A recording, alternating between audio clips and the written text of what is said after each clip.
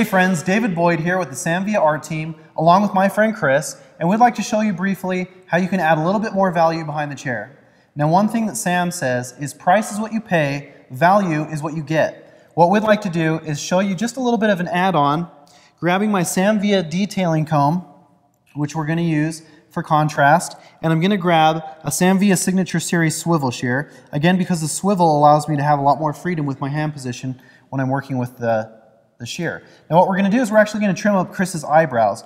Now the nice thing about the detail comb is I can come in first with the fine teeth of the comb using an ivory color so obviously I can see the contrast and really get a good look at what we're working with. And I do like to brace with my finger just for safety to keep everything nice and stable.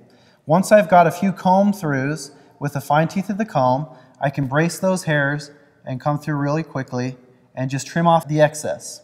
At that point, switching now to the wide teeth of the comb, I'm actually going to comb down into the brows and rotate just up slightly to grab any other excess length that might be living in the middle of the brow. So we're not looking to change the shape of the brow at this point. We're just looking to groom it up a little bit to give him a little bit something less to worry about when he looks in the mirror.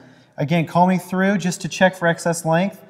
And it looks like we've done a pretty good job getting those brows trimmed up nice and right. So quick recap, all we're doing, grabbing the fine teeth of the comb, combing up to get any excess that show up really quickly and easily, trimming across the top, coming then with the wide teeth of the comb, a comb down and a rotate up onto the spine of the comb to come through and address any of those other excess lengths that live in the middle of the brow, combing them back into place and calling it a day.